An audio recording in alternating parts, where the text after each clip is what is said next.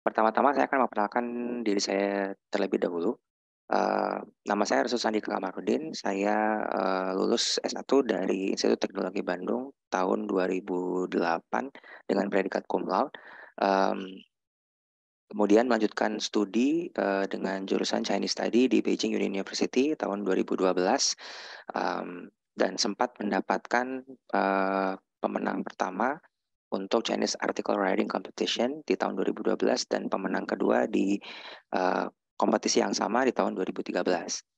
Uh, kemudian saya uh, aktif juga mengajar Mandarin sejak 2013 dan saya adalah pengajar ASK sejak tahun 2017. Selain mengajar bahasa Mandarin secara formal, saya juga uh, menjadi salah satu koordinator meja Mandarin di komunitas Polyglot Indonesia uh, sebuah komunitas multilingual di Indonesia sejak tahun 2018. Saya adalah polyglot dengan tiga bahasa aktif fasih, yaitu bahasa Indonesia, bahasa Inggris, dan bahasa Mandarin, dan dua bahasa aktif dasar, uh, yaitu Jepang dan Prancis, serta dua bahasa pasif, um, Arab dan Spanyol. Jadi nantinya untuk kelas bahasa uh, yang ada di Wardah College ini, khususnya kelas persiapan ASK, saya akan mendek, uh, salah satu metode atau approach yang saya akan gunakan adalah dengan menggunakan metode pendekatan uh, multilingual. Ya, baik. Um, kemudian kita akan uh, lanjut ke dalam uh, inti penyampaian materinya yaitu uh, HSK ya persiapan HSK. Mungkin uh, dari beberapa peserta di sini ada yang belum familiar, belum akrab dengan uh, istilah HSK. HSK itu uh, adalah singkatan dari Han Yu Shui Ping Hao Shi. Artinya adalah uh, tes kemampuan bahasa Mandarin atau dalam bahasa Inggrisnya Chinese Proficiency Test. Nah, uh,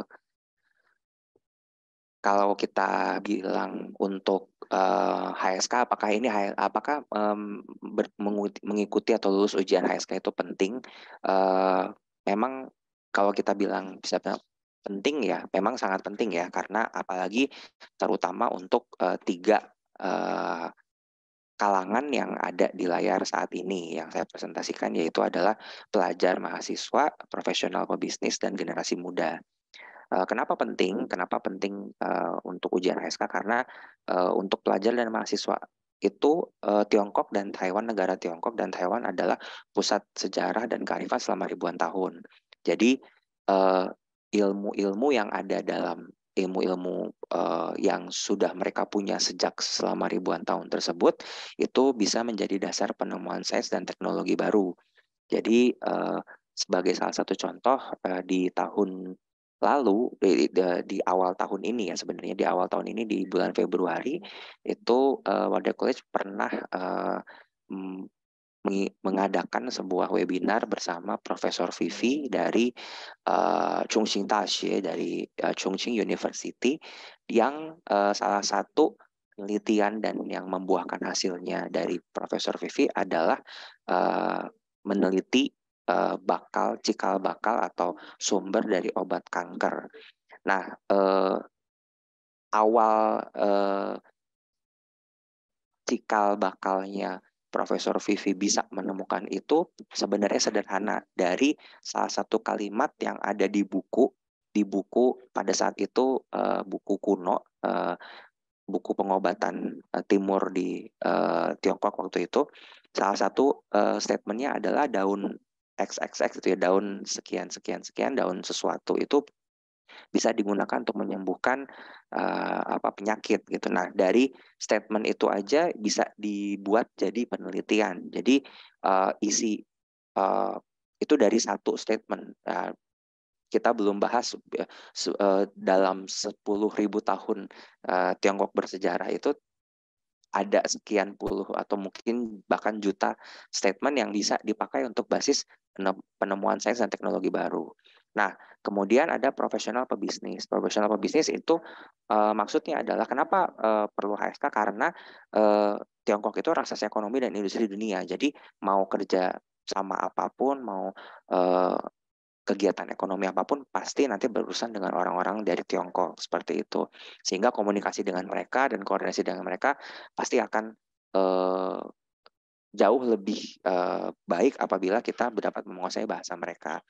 Karena uh, orang Tiongkok uh, pengalaman saya adalah pengalaman pribadi saya adalah orang-orang yang sangat uh, chauvinis gitu. Jadi mereka tidak uh, buk, uh, sangat mengagungkan bangsanya sehingga kalau misalkan ada orang bangsa lain yang bisa bahasa mereka bisa budaya mereka tahu budaya mereka tahu adat istiadat mereka mereka itu sangat uh, kagum gitu seperti itu nah berikutnya adalah generasi muda jadi uh, walaupun tidak secara akademis atau walaupun tidak secara saintifik ya, kita uh, uh, uh, menggeluti bidang kita, uh, walaupun bukan bidangnya yang sangat serius, tapi uh, mungkin boleh dibilang santai, itu juga perlu uh, kemampuan bahasa Mandarin. Seperti contoh misalnya, kita tahu bahwa uh, aplikasi TikTok itu ada aslinya namanya Douyin, itu adalah aplikasi dari Tiongkok gitu. Jadi orang-orang uh, di luar sana yang sekarang uh, apa di misalkan di Amerika ya uh, semua artis itu atau selebriti uh, bermain TikTok itu asalnya aplikasinya dari mana? Dari dari Tiongkok gitu seperti itu. Jadi um, kalau misalkan kita seorang social media influencer itu juga perlu kalau misalkan kita bisa memiliki kemampuan bahasa Mandarin akan jauh sangat lebih bagus gitu. Nah, uh, berikutnya kenapa HSK kenapa bukan yang lain karena mungkin di sini ada yang pernah tahu bahwa oh uh, ada juga tes bahasa Mandarin yang uh, lain misalnya TOCFL dan seterusnya. Kenapa HSK? Karena uh, kelanjutan jenjang untuk kelanjutan jenjang pendidikan uh, sertifikatnya HSK itu bersifat umum. Jadi lebih umum dan diakui secara internasional baik untuk jenjang pendidikan maupun untuk uh, apa kelanjutan untuk uh, profesi gitu. Misalnya contoh uh, mutasi ke uh, cabang atau mutasi ke kantor pusat di Tiongkok itu uh, kalau misalkan dimutasi seperti itu itu perlu ujian HSK perlu sertifikasi HSK supaya mereka tahu bahwa oh memang kita punya kemampuan untuk berkomunikasi di situ seperti itu. Nah selain itu bahasa Mandarin itu kan merupakan bahasa internasional kedua uh, penggunanya sudah satu miliar itu per 2018 sehingga per 2022 ini juga sudah uh, tambah naik lagi dan itu adalah bahasa nasional negara ekonomi dunia. Jadi uh, apabila kita memiliki kemampuan bahasa Mandarin, banyak aspek-aspek dalam hidup kita yang akan uh, bisa jauh lebih lancar dibanding sebelum kita menguasai kemampuan bahasa Mandarinnya. Seperti itu. Nah, uh, berikutnya adalah ini uh, untuk beberapa peserta yang memang tahu bahwa universitas-universitas yang paling uh, unggulnya ya di dunia ini adalah QS World University Ranking 2022 dari diambil dari uh, topuniversities.com dan Global 2000 List of University Ranking 2022 yang diambil dari uh, cwur.org. Nah, kita lihat di sini uh, jelas bahwa uh, banyak universitas-universitas di Tiongkok itu yang memang menempati peringkat yang luar biasa tinggi ya. Kayak misalkan ini uh, ya. Tsinghua itu di peringkat 17 uh, di QS. Uh, Peita uh, Peking University itu ada di nomor 18 gitu. Sementara untuk di uh, nomor 34 dan 39 ada HKUST, ada Tsinghua Shenzhen. Nah, nomor 68 ada NTU Taiwan. Kita lihat di sini uh, eh, UGM, UI dan ITB itu tiga yang unggulan nasional itu bahkan dia ada sangat jauh gitu perbedaannya dengan yang lain-lainnya. Nah, di sini di Global uh, eh, 2000 List of University Rankings ini juga sama. Ini bahkan uh, untuk universitas lokal yang ternama saja itu ITB misalnya itu tidak termasuk top 2000 sebetulnya gitu. Nah, kita lihat di sini ada nomor 58 59 ada Tsinghua sama Peita. Nah, nomor 90 adalah NTU Taiwan. Seperti itu. Nah, eh, di sini beberapa yang ada di sini, terutama Tsinghua sama Peita, itu tidak ada program internasional. Jadi kalau misalkan kita mau eh, belajar di sana, kita mau menunjukkan studi di sana, itu wajib harus bisa eh, bahasa Mandarin seperti itu dan wajib harus ada sertifikasi HSK-nya. Nah, sehingga eh, ini bisa dijadikan pilihan untuk destinasi studi ke luar negeri seperti itu. Nah, berikutnya eh, masuk ke bahasan kapan, kapan ujiannya. Gitu. Nah, eh, untuk ujiannya ini eh, ke perkembangan terbaru dia untuk eh, Januari 2023 itu ada di uh, Sabtu 7 Januari 2023 atau Sabtu 18 Maret 2023. Baru ada tanggal ini saja dan ini pun uh, tes centernya terbatas. Jadi di sini di ini adalah website resmi untuk pendaftaran HSK dan ini di sini bisa dilihat bahwa tes centernya itu adalah di Sahid Jaya Foundation di Jakarta di Sudirman. Uh, selain di sini itu ada di dua tempat lagi nanti ada slide-nya juga. Uh, tetapi uh, ini adalah untuk internet based test. Jadi ini at center. Untuk internet based test at home-nya belum ada update jadwalnya seperti itu. Jadi mungkin mulai dari sekarang para peserta sudah uh, diharapkan uh, untuk ikut program HSK program persiapan HSK ini seperti itu pada jadi pada saatnya nanti sudah uh, akan tes itu sudah siap. Nah, berikutnya adalah di mana tesnya. Nah, uh, tes centernya itu uh, di sini kita bisa lihat di layar ini uh, menurut website resminya itu ada tiga. Jadi ada uh, SMA Nurul Jadid Python ya di Probolinggo, Universal Universal University di Batam, sama Saya Jaya Foundation itu di uh, Sudirman di Jakarta tadi. Nah ini tanggalnya untuk tanggal tesnya sendiri berbeda-beda, tapi uh, secara umum dia tes center tiga tes center ini melakukan tes di 7 Januari dan 18 Maret seperti itu. Nah, berikutnya adalah eh, bagaimana mempersiapkannya. Ya, nah, mempersiapkannya tentu dengan salah satunya dengan cara bergabung di Wadaya College. Nah, ini adalah jadwal-jadwal dan daftar biaya uh, untuk program kelas yang akan dibuka nanti. Ya, ada kelas HSK 3, HSK 4A, HSK 4B, HSK 5B. Dan untuk uh, ada satu lagi rencana kita akan membuka HSK 1 di uh, weekend ya di hari Sabtu.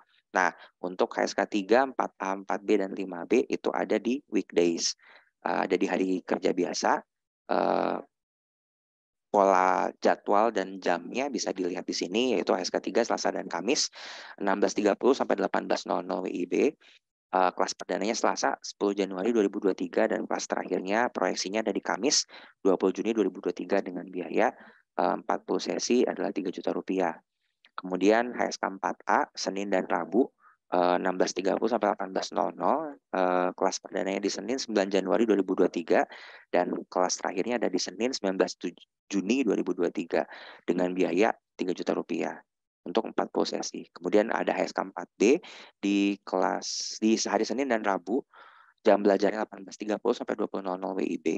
Kelas padanya Senin 9 Januari 2023 sama dan kelas terakhirnya juga proyeksinya sama 19 Juni 2023 dengan biaya 3 juta rupiah untuk 40 sesi.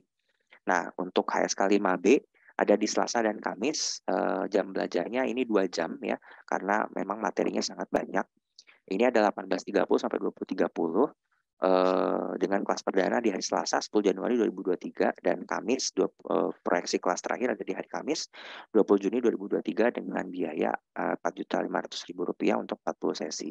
Nah, eh, untuk kelas persiapan HSK 1, nah ini eh, masih uh, tentatif tapi uh, kemungkinan besar akan diadakan di hari Sabtu uh, antara pukul 9 sampai 12 atau jam 1 jam 13 sampai jam 15. Ini uh, kelas proyeksi kelas perdana ada di Sabtu 14 Januari 2023 dan uh, proyeksi kelas terakhir ada di Sabtu 25 Maret 2023. Untuk biayanya adalah 2 juta rupiah untuk 20 sesi. Nah, ini adalah untuk uh, program kelasnya. Nah, uh, dari lima program kelas ini yang akan dibuka uh, HSK 3, 4A, 4B, dan 5B itu memerlukan tes masuk. Kalau untuk di Wardah College itu memerlukan tes masuk. Nah, untuk tanggal tes masuknya, nah, sekarang bisa dilihat di layar, adalah di uh, hari Sabtu 17 Desember 2022 atau 7 Januari 2023. Ini akan uh, dikonfirmasikan ulang. Uh, waktu tes masuknya di jam 2 uh, sampai jam 15.30 WIB untuk materi, untuk HSK 3 itu uh, materinya adalah HSK 2 dengan tanpa pinyin dan sudah ada soal writing sedikit ya. Dan untuk HSK 4A 4, uh, materinya adalah HSK 3. HSK 4B materinya adalah HSK 4A dan HSK 5B materinya adalah HSK 5A. Seperti itu. Nah, ini lama penilaiannya 1 sampai 2 hari dan biayanya Rp20.000 seperti yang sudah tadi disampaikan. Nah, sekarang kita masuk ke uh, keuntungan atau manfaat uh, baik itu manfaat kenapa harus belajar di Tiongkok, kenapa harus punya HSK sehingga harus belajar di Tiongkok, ataupun kenapa harus ambil uh, uh, kelas di Wadaya College. Nah, uh, manfaatnya adalah pertama dari Tiongkok ya dari segi negara. Nah, Tiongkok itu punya sebagai negara tujuan untuk penuntut jenjang pendidikan tinggi itu memiliki beberapa keunggulan. Yang pertama, institusi pendidikan dan negara menyediakan beasiswa hingga 100%. Itu yang pertama. Uh, saya sendiri sebetulnya pada saat semester uh, eh, 2 dan 3 di sana itu sempat mendapatkan beasiswa uh, kelas 1 dan kelas 2. Nah, yang keduanya, keunggulan keduanya adalah pusat literatur dan kearifan dunia dengan sejarah ribuan tahun. Ini yang tadi yang saya maksud dengan banyak uh, apa ya, banyak uh, modal yang kita bisa uh, pakai untuk penelitian kita secara modern gitu. Jadi karena mereka punya uh, sejarah dan kearifan dunia yang ribuan tahun lamanya, sehingga apa-apa yang menjadi mungkin pada masa itu dinilai tidak ilmiah, sebetulnya bisa dijadikan ilmiah dengan ke, uh, kebudayaan atau teknologi modern kita seperti itu. Nah, Eh, berikutnya nomor tiga, yang keunggulan nomor tiga adalah biaya pendidikan yang jauh lebih murah dibandingkan negara lain dengan kualitas pendidikan yang sama. Ini yang tadi yang saya sebutkan bahwa kalau uh, di Tiongkok itu biaya pendidikannya rendah, kualitas pendidikannya tinggi, tetapi syaratnya harus memiliki sertifikasi bahasa yaitu HSK. Nah, jadi dibandingkan misalnya kalau kita secara kasar bilang bahwa uh, dibandingkan uh, menuju ke universitas top yang uh, ada di Indonesia yang mungkin kita nggak tahu bahwa di uh, urutan dunia mereka itu tidak sampai 200 top 200 gitu. Jadi uh, alangkah baiknya kalau kita bisa uh, dengan biaya yang sama walaupun tentunya uh, harus memiliki kemampuan bahasa Mandarin juga itu kita uh, justru destinasinya ke Tiongkok gitu. Nah, itu justru jauh lebih akan jauh lebih bagus hasil pembelajaran kita Eh, dalam degree apa pun yang kita tempuh di sana seperti itu. Nah itu dari segi Tiongkok uh, kenapa unggul untuk negara tujuan menuntut jenjang pendidikan tinggi. Kalau untuk keunggulan kelas HSK Wardaya adalah nomor satu adalah pengajaran yang komprehensif, multilingual, fasilitatif dan terstruktur. Jadi semuanya itu tidak semuanya itu rapih dan teratur gitu ya. Jadi pe, pe, pengajarannya juga rapi dan teratur uh, semua resource ya semua sumber pembelajaran semua ada dan semua digital. Jadi baik di mana pun serta berada tidak akan kekurangan resource. Nomor dua format kelasnya full online. Jadi dari seluruh juru Indonesia bahkan dunia itu bisa bergabung. Uh, pada saat ini uh, ada li, paling tidak tiga orang ya tiga orang uh, mahasiswa dari Universitas uh, The Chinese University of Hong Kong Shenzhen, CUHK Shenzhen yang masih saya uh, ampu pembelajarannya gitu, masih saya pandu pembelajarannya.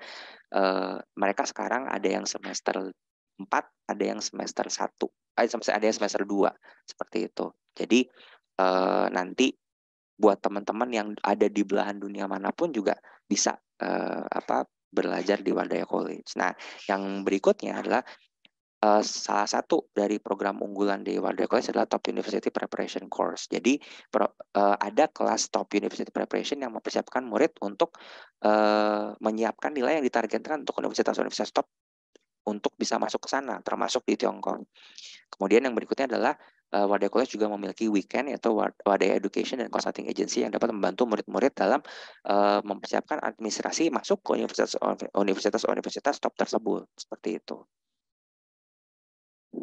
Nah, ini adalah beberapa testimonial, uh, beberapa hasil pembelajaran. Ini teman-teman bisa lihat di slide-nya. Ini uh, ada uh, beberapa murid.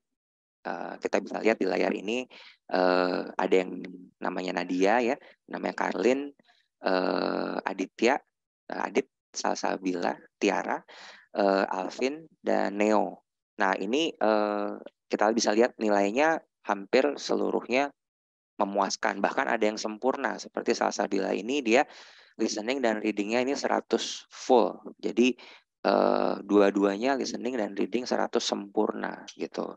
Nah, uh, ini adalah hasil yang uh, akan teman-teman dapatkan kalau uh, menempuh pembelajaran persiapan HSK di Walden College. Nah, ini untuk uh, jenjang hasil dari HSK 1, 3, dan 4. Nah, untuk metode ini uh, metodenya adalah komprehensif, pendekatannya multilingual, fasilitatif, dan terstruktur. Jadi semuanya akan dipelajari. Beberapa kelas di luar sana, HSK yang ada di luar sana di tempat lain, tidak HSK eh, 1 dan 2 tidak mempelajari karakter, tidak mempelajari huruf Mandarin, tidak mempelajari, tidak mempelajari Hansel. Kalau di sini semua harus sudah langsung belajar dan writingnya pun belajar langsung gitu karena memang HSK 1 sama 2 tidak ada uh, ujian writing ya belum ada tapi dalam pembelajaran di Waldo College itu sudah ada. Kenapa? Karena untuk mempersiapkan mereka untuk masuk HSK 3-nya seperti itu. Nah, fasilitatif maksudnya eh, semuanya sudah ada di sumbernya secara digital. Jadi tidak perlu kita apa cari-cari ke mana-mana, semua sudah ada di sini seperti itu. Nah, eh, aspek pembelajarannya ada listening, reading, speaking, dan writing. Ini termasuk translating, interpreting, ya menginterpretasi, eh, reading loud reading, silent reading, ya maksudnya membaca dengan keras, membaca dengan uh, dalam hati. Karena uh, yang dipelajari di sekolah biasanya, institusi biasanya itu cuman uh, hanya loud reading saja. Jadi cuman meng menguji bahwa oh dia bisa baca lafalnya betul dan nadanya betul. Tetapi apakah dia bisa paham menerjemahkannya uh, teksnya itu? Nah itu biasanya tidak di biasanya tidak diujikan. Kalau di sini diujikan. Nah Kemudian ada speaking dan ada ada writing juga. Writingnya terdiri dari sentencing dan composition. Jadi mulai dari HSK 1 sebenarnya sudah diajari mengarang seperti itu. Nah, ini adalah komponen pembelajarannya, ada new words, ada notes, ada text, exercise, dan review. Jadi ini urutannya seperti ini. Jadi awalnya kita akan belajar setiap pertemuan kita akan belajar kosakatanya dulu dan kosakata baru dan keterkaitan dengan kosakata yang lama gitu. Nah, habis itu ada notes. Notes ini adalah uh, uh, poin-poin dari tata bahasa, uh, tata bahasa baru maupun kekaitan dan perbedaan dengan tata bahasa yang lain yang sebelumnya. Nah, habis itu kita akan uh, mempelajari teks ya uh, dengan cara listening dan reading dengan cara listening itu dengan close book dan reading itu dengan open book. Ini yang salah satu juga yang di kelas HSK di luar sana itu tidak melakukannya karena uh, di sana hanya maksudnya di tempat luar sana hanya menjalankan seperti biasa saja. Tetapi tidak ditekankan bahwa listening itu harus tutup buku. Kenapa? Karena kalau listening buka buku itu namanya bukan listening. Karena pada akhirnya untuk mengerjakan listening itu kita tidak ada skrip uh, listeningnya tidak kita baca gitu. Jadi uh, karena itu listening dan reading harus berbeda. Nah uh, exercise dan review ini di, biasanya dibuat di rumah untuk supaya murid-murid juga ada waktu untuk mengulang di rumah walaupun cuma sedikit. Ini uh, gambaran uh, tentang ujian HSK-nya. Jadi uh, nanti akan dipelajari jenjangnya untuk HSK 1, 2, 3, 4, 5, 6 itu jumlah karakternya bisa dilihat di screen ya. HSK 1 itu 150, uh, HSK 2 itu 300, HSK 3 itu 600, HSK 4 itu 1200, HSK 5 2500 dan HSK 6 lebih dari 5000. Untuk kemampuannya HSK 1 adalah pengenali sederhana, kemampuan HSK 2 itu percakapan dua arah sederhana, kalau HSK 3 itu percakapan dua arah kompleks, HSK 4 adalah pembicaraan, pemaparan, dan penjelasan dua arah secara kompleks. HSK 5 adalah pembicaraan, pemaparan, dan penjelasan dua arah secara spesifik profesional. Jadi semua kosakatanya sudah sangat spesifik gitu ya. Dan HSK 5 itu semua teksnya diambil dari uh, buku bermutu, buku ilmiah, majalah, dan koran yang betul-betul ada gitu. Jadi bukan diada-adakan, bukan dibuat uh, sendiri oleh uh, apa penerbit, tetapi betul-betul ada gitu. Nah, sampai juga uh, HSK 6 itu pembicara pemaparan penjelasan dua arah ilmiah. Nah, ini biasanya isinya adalah jurnal, paper, dan karya ilmiah seperti itu. Jadi levelnya biasanya HSK 1 itu levelnya setara dengan SD. Uh, HSK 2 itu SMP, SMA, uh, HSK 3 SMA, HSK 4 itu adalah D3 atau S1, HSK 5 adalah S1 atau S2 dan HSK 6 itu S2 atau S3 seperti itu. Nah, ini adalah eh, berikutnya adalah eh, waktu. Biasanya ini gambaran waktu yang akan ditempuh kalau misalkan ujian HSK ya. Jadi eh, maksimalnya kalau kita lihat di sini Ini tidak akan saya bahas detail, tapi intinya satu soal itu biasanya cuma bisa punya waktu satu menit atau kurang gitu. Jadi di sini di HSK di kelas HSK Wadai kita akan belajar bagaimana cara menjawab menjawab persoalan juga menjawab soal juga dengan waktu yang sebegitu pendeknya seperti itu. Baik, itu adalah akhir dari uh, info sessions HSK kelas HSK Wadai College pada sore siang menuju sore hari ini. Uh, sekarang kami akan membuka sesi pertanyaan. Apabila ada pertanyaan, silahkan untuk bertanya lewat fitur chat Zoom atau uh, membuka mikrofon. Silakan. Oke, ini ada pertanyaan dari Manuel ya. Uh, itu nanti Sir ajarin ajarkan kosakata barunya seperti apa? Seperti bagaimana? Apakah seperti uh, Hanse terus uh, kita isi pinyin atau sama dengan artinya? Jadi gini, uh, kalau untuk uh, mempelajari kosakata baru, kita pertama akan belajar ketiganya pada saat yang bersamaan. Jadi uh, karakternya, lafalnya, pinyinnya ya, karakternya, lafalnya dan artinya. Seperti itu pada saat yang bersamaan. Nanti kita akan bahas dulu sampai setelah setelah satu lesson selesai. Misalnya satu lesson itu ada sekitar 16 sampai 20 uh, kosakata baru. Setelah 16 sampai 20 kosakata baru, kita akan biasanya diberikan waktu untuk uh, menghafalnya sekitar 5 sampai 10 menit. Nah, setelah menghafal baru kita menutup buku, kemudian ada hafalannya. Kemudian kita akan mendengarkan listening. Jadi pada saat listening bukunya sudah ditutup gitu, tidak bisa dibuka. Walaupun memang karena pembelajarannya online, kadang-kadang memang ada beberapa satu dua murid yang masih tetap buka uh, apa uh, modulnya ya atau tetap buka uh, bukunya. Tetapi uh, kelihatan bagaimana mereka meresponnya yang uh, yang menutup modul sama yang membuka modul itu akan ketahuan gitu seperti itu. Jadi uh, akan terlatih tanpa teks, tanpa panduan bagaimana kita uh, menjawab pertanyaan seperti itu. Kira-kira ada yang mau ditanyakan lagi? Baik, eh, ini dari Manuel. Uh, aku SMA ikut HSK 1, nggak apa-apa kan? Udah tiga tahun nggak belajar bahasa Mandarin. Oke, tidak apa-apa. Tetapi sebenarnya kalau memang sudah pernah belajar bahasa Mandarin, sudah pernah dulu pernah belajar, akan lebih baik mungkin kalau ikut placement test HSK 3 dulu. Jadi nggak usah takut karena placement test ini uh, tidak terus membuat uh, tidak terus uh, berarti bahwa kita oh uh, kita apa uh, bakal jelek nih jangan dipikir seperti itu dulu gitu. Jadi ikut aja placement test dulu. Nanti kalau misalkan lulus jadi tidak perlu belajar dari uh, HSK 1 lagi seperti itu. Tapi kalau misalkan memang tidak lulus nanti boleh uh, kita mulai di HSK 1 seperti itu. Ya masih ada pertanyaan Vanuel? Uh, Enggak sih, itu aja. Ah, udah lama banget belajar Mandarin. Oke, nggak apa-apa. Nanti uh, pelan-pelan kalau misalkan memang dari hasil tes uh, mungkin HSK 3-nya nanti uh, agak kurang, nggak apa-apa. Nanti kita mulai dari HSK 1. Ya. Itu satu semester kan? Uh, betul, kalau untuk HSK 3, 4A, 4B, 5B itu masing-masing satu semester. Tapi untuk HSK 1 nantinya hmm. itu akan uh, setengah semester gitu sampai oh, iya. Maret tadi.